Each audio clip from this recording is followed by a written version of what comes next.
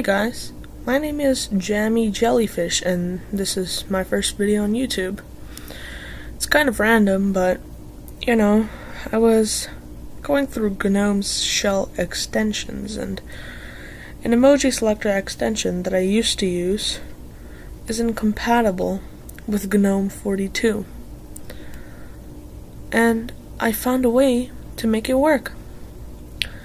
So it works flawlessly on GNOME 42, as many of the people who got it to work on it said. And this is how they got it to work. Open up a terminal and you want to install a package called dconf editor.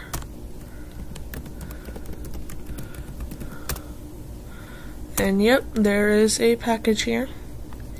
After you've done that, find it wherever you find your applications. Should have this sort of icon. And I don't care about that dialog.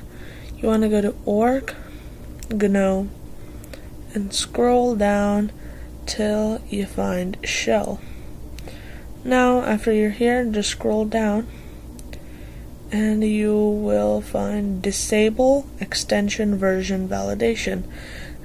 Like the description suggests, it disables the validation of GNOME. Uh, it disables the validation of extension version compatibility. You want to check that. And let's reload the view. And there we go. Now, I can exit this. And if I go here, I'm going to refresh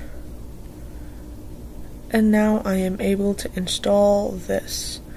Now if I just do this to prove it, boom, works flawlessly, exactly how you would expect it to work. And now I can select all the emojis I possibly could want.